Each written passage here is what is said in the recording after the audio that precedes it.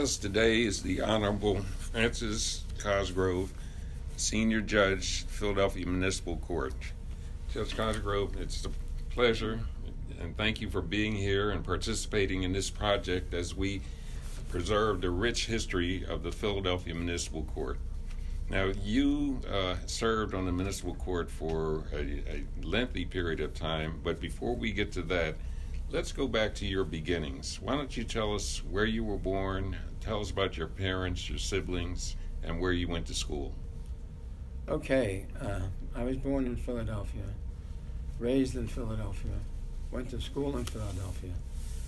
I went to a school called St. Veronica's Academy. Mm-hmm well, we called it St. Veronica's Academy, but it was just St. Veronica's parochial school. In those days, all the parishes had their own schools. From there, I went to Northeast Catholic High School for boys, and then, oh, and then I went into service. I went under the GI Bill. I went to LaSalle College and uh, took some time off and went back to uh, Temple Law School. So your parents, uh, who were they? I had two parents. Uh, we all do. uh, Francis was my father, and my mother's name was Catherine. My father said he was Irish descent, and my mother was Polish. Actually, she was first generation uh, American because her parents came from Ireland. And it, it was rather interesting because I had a grand, grandmother from Ireland who was born on a boat coming from Ireland the boat landed in Philadelphia, they took her up to uh, St. Malachy's Church in uh, North Philly, 11th and Master. Mm-hmm. And when I got married, you had to get a uh, baptismal certificate. So I went to St. Malachy's, and the priest there says, You know, we've got another Cosgrove on record here. And he gave me her baptismal certificate. so, and so the, she was baptized there, and so was I. That's and, wonderful. And my parents they kept moving north. Uh, you know, as they progressed, uh, we went to from St. Malachy's to St. Edwards, from St. Edwards to St. Veronica's, and my mother used to think that uh, Hunting Park was the suburbs, Eighth and the Boulevard. So uh, my father, he worked all during the Depression, and we were, but he worked nights, and I seldom saw him. That's uh, that's life in the big city. Right, right. I had I had two brothers. Uh, John was in the middle. Jim was the youngest. John's passed on. He he died from, believe it or not, skin cancer. Wow. And my brother Jim, he he owns a bar and restaurant and motel up in Lancaster County. He's okay. he's my successful brother. he's worth he's worth a few dollars. So, where did you go to high school? North Catholic. Okay. Yeah, and, we, and, did you have any uh, activities that you participated in at North Catholic? at North Catholic, we had a teacher, English teacher, who was in charge of the shows. And if you were in his class, you ended up in the chorus. So I can remember I was in the chorus of my sister Eileen and I was an English soldier. I had an English soldier's costume on, and one of my one of my jobs was to jump up onto a rock during the show.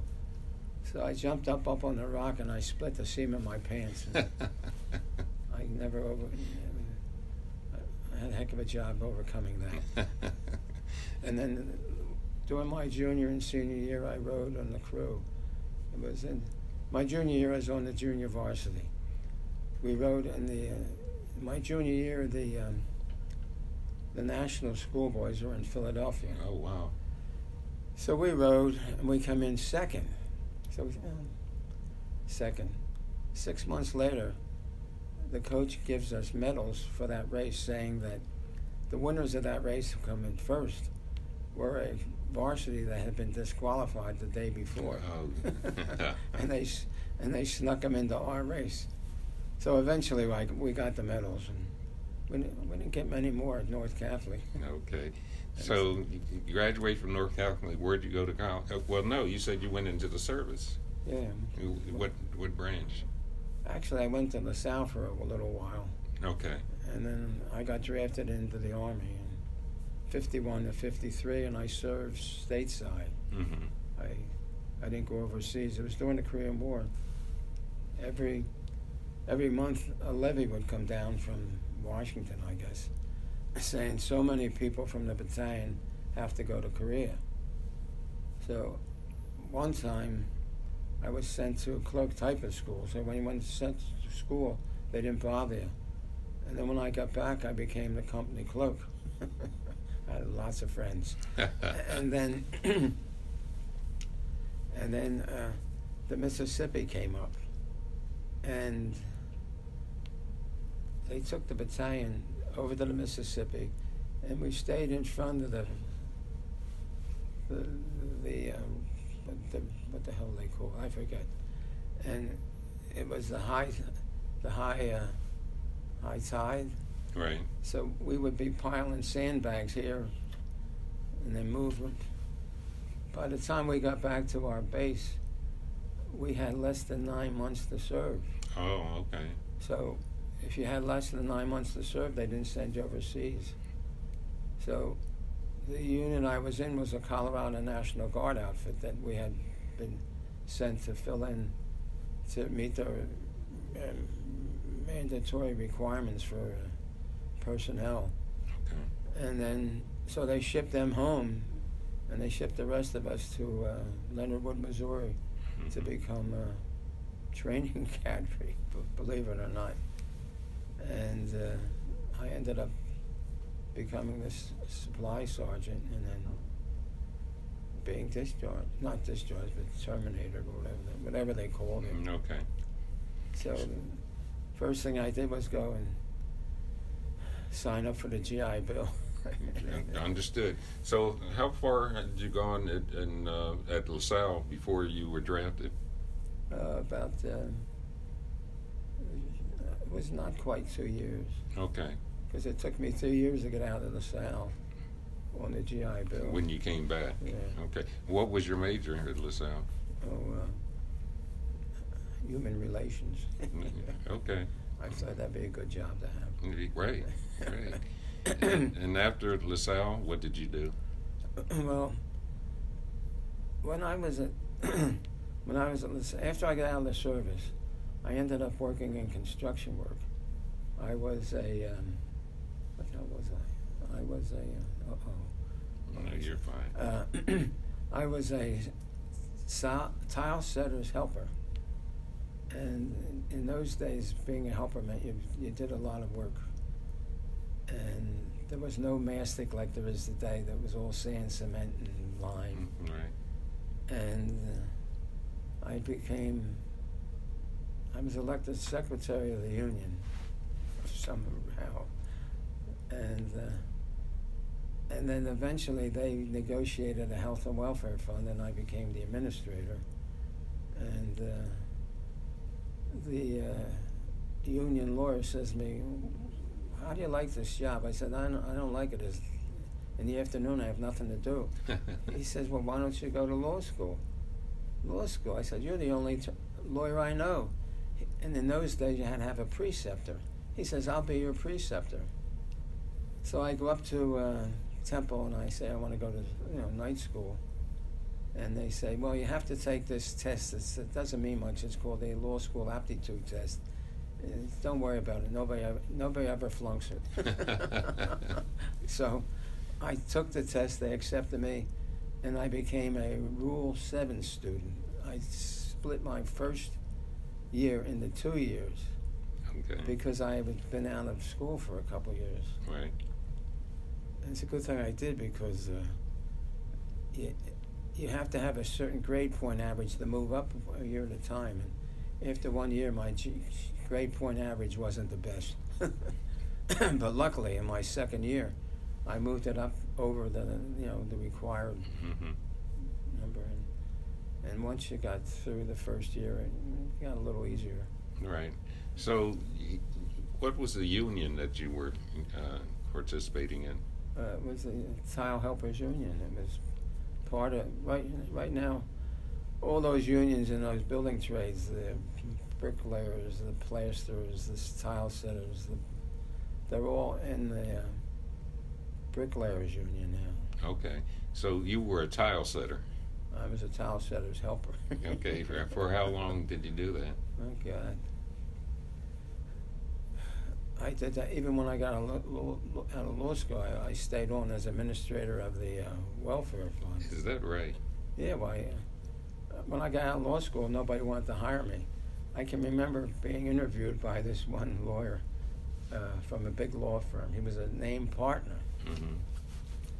And he was a very nice man. He talked to me for about an hour, and at the conclusion of the interview, he says, "You know," he said, "Well, you're a nice man, but we can't use you here." He says, "You, you know, you're not too bright." Wow. you got too many kids, and we can't afford to pay what you need to live on. Oh goodness. So I can remember there, there were others in the same boat. So we started a law firm. So you um, graduate from Temple. You pass the bar, right. and you you're still Still an administrator. administrator for the union. Right. And and And then we're working. Uh, there was first there were t- two others, and then uh, that busted up. And then I ended up being partner with uh, Judge Zaleski, and uh, and who else was there? Steve Wojak, and uh, then there were two lawyers that wanted to put their name on the door. mhm. We had rented this place for fifty dollars a month. Wow. Over on Fifteenth Street, and the building was being torn down. That's why it was so cheap. So these two lawyers said, you know, you know, we're we're on our own, but we're going to go in partners. And so one of them was uh, Bob Coleman. okay. and uh, what the other guy? They both became named partners of the Morgan, um, what's it, Franklin, Dennehey, and Warner. Oh my goodness. Yes. So, so for five dollars a month, they got their name on the door. so, so what sort of practice did you have? What cases were you doing? um, I hate to say it, but whatever came in the door, we bounced on it. No, I understand. And then in 73, well, in 71, the legislature in Harrisburg passed the bill giving all the counties in Pennsylvania more ju- CP judgeships. hmm And uh, Philadelphia got 30. So every war leader had a favorite, so they were all appointed. And Steve Wojak at that time was a uh, war leader in the Northeast. So Zaleski gets the appointment, Right. and he's got to run again in '73. Between '71 and '73, there were 10 more openings on the CP court. Well, that's 40, 40 judges. Well, you wouldn't believe the size of the primary ballot. It was the whole I can imagine. the whole thing.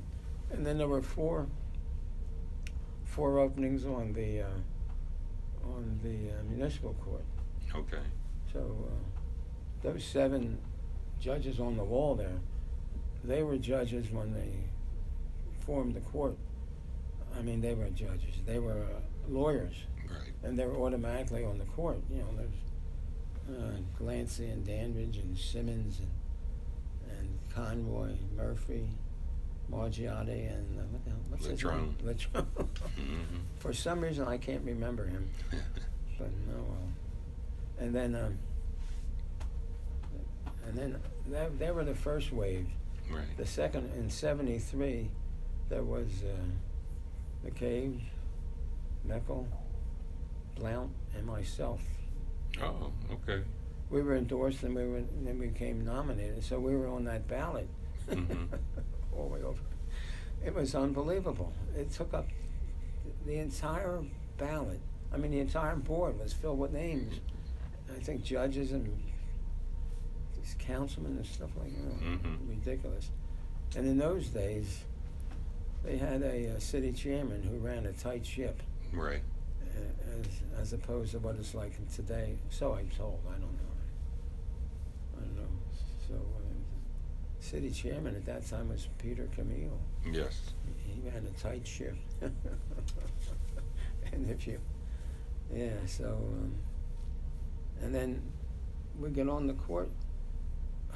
It's different than it is now. We, in, in those days, we had jurisdiction over misdemeanors too, and a couple other things, and we were down the roundhouse on the preliminary, uh, uh, preliminary, what they call? Arraignments. arraignment, preliminary arraignment. See, well, see how you forget. Yes. So, so in any event, uh, and when the, there was a judge, a magistrate named Markert, and when Ma- Markert, he was the last one, That's right. and when he resi- when he retired, we became an independent independent court. Up until then, the president judge of the common pleas court was really the administrative judge of the municipal court. I didn't know that. You know, Glancy was there in uh, name only, okay.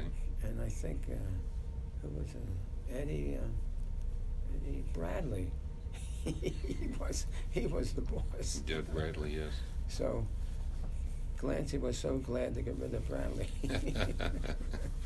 so, and we became independent. And Glancy did a great job for the court because when we started, I think our salary was in the twenties.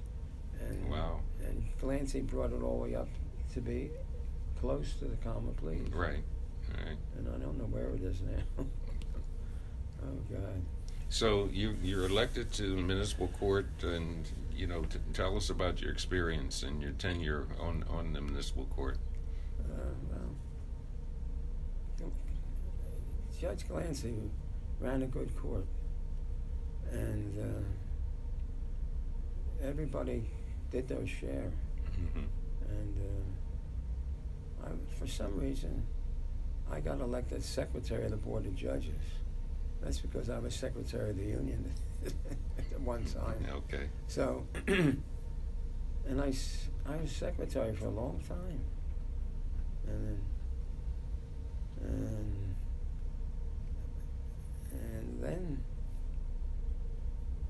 one part that was interesting was when you appealed from municipal court to common pleas, common pleas judges really didn't like that job. Right. So they ended up sitting on somebody's desk for longer periods of time than they should have. But in any event, they cut. Well, after I became a senior judge, I don't. Yeah. Uh, the municipal court was given the appeals from the court. So how would you do that if you're appealing from the same court? Two judges from the municipal court were certified as CP judges. Right. So Judge King and I were certified. Well, before that, you had Bla- um, Silverstein certified, and and then, but when he, Silverstein then stepped down, I think the Supreme Court put an administrative judge in to help him out, Okay. and that was Judge Blasi. Right. So Judge Blasi uh, had Judge King and I certified, and then Judge Bla- we worked uh, two days a week. Two days I I took um, the, the uh, appeals from uh, from landlord tenant. Okay. Oh, no, no King had lo- landlord tenant. I took the appeals from civil, Okay. and uh, I I forget who got the who got the criminal. But in any event, we Judge King and I really brought it uh, brought it in the in the line because before that they had continuances. You never know when you're going to hear the case. Right. So we were hearing them within 60 days. And Judge uh, Herron was the administrative judge of the CP. All he ever did was pat us on the shoulders and say, good job. so doing a good job. so we held that. We did that. Uh, I, King worked two days, I worked two days, and we saved Friday for jury trials. okay. The first time a lawyer gets something and says this is a jury case, I said, "What are you talking about? We don't." Right. and he says, "Well, you're in CP now. You're doing juries."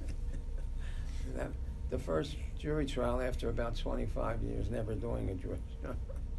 but luckily, Judge Blasi gave us a law clerk who was really good. Uh, all the motions and all the. Mm, Okay. and then the uh, jury jury instructions. It was it was a, really a great experience. And, and you were on the court for how many years?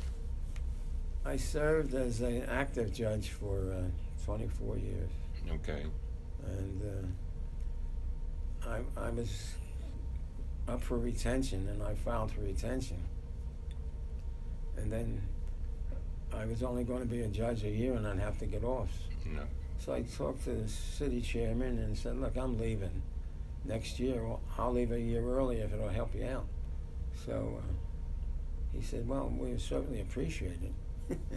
he certainly did because the fellow that took my place is named Frank Brady, brother of the Yeah, city right.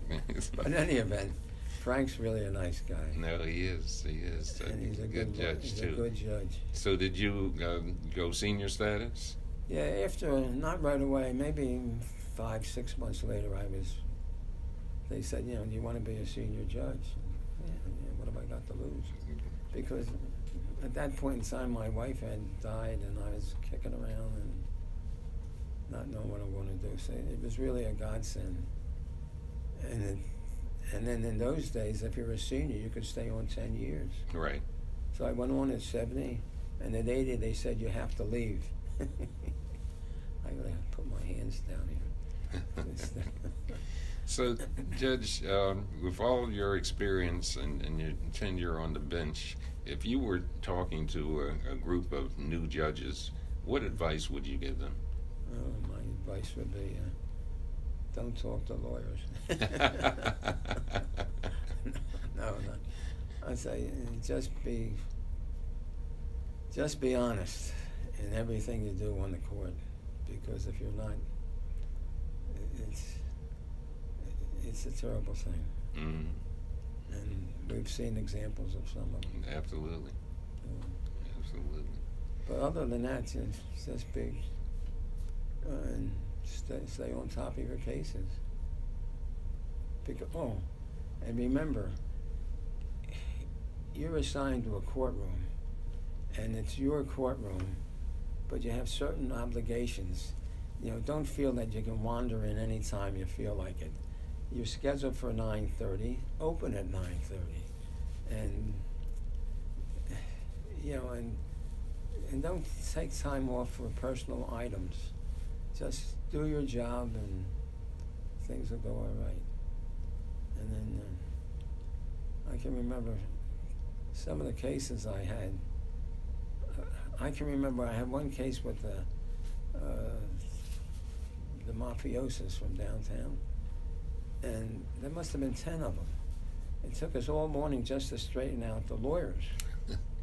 So we break for lunch, come back from lunch, and the lawyers and the DA says, Your Honor, we spent the morning getting straight on the judges, but we're not going to go to trial here. The, the federal government is going to take over. Oh, they took it over. Which another one of my favorites was the Move Group. You ever hear of the Move Yes. Group? Boy, they could really disrupt the courtroom hmm and then uh, and then I had another case, an exotic dancer named Honeysuckle Divine. she was quite a lady, and she was in. a oh let's forget her. The, the, ca- the case went up on appeal, and it was heard by one of our female uh, CP judges, who really blasted me on her uh, decision. Oh, really? Uh, she, I said, you know, why did you have to mention my name? Right. my name's in the in the decision. She could just said the judge below or something like that. But, so she says, that's the way I feel about this case. but, Well. uh, oh God. So uh, what else can I say about the court? Those uh, the, the, the years that you served were, you know, some interesting years, and, and the court went through quite a few changes. So Yeah, I can remember I even ran for president judge one time. I didn't know that. yeah, Silverstein was on. He was uh, he was elected. I only got five votes, but uh, at least I had five friends. That's right. Well, Judge, thank you so much for coming in all. and participating in this. Yes, that wonderful history is. Uh, I'm so- just getting started.